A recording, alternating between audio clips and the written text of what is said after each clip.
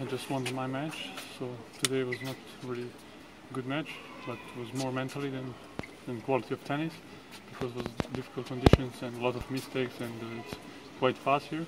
So I was a little bit more lucky today. So I made first set 7-6 and then second set I played a little bit better. So I won 6-4. Thank you.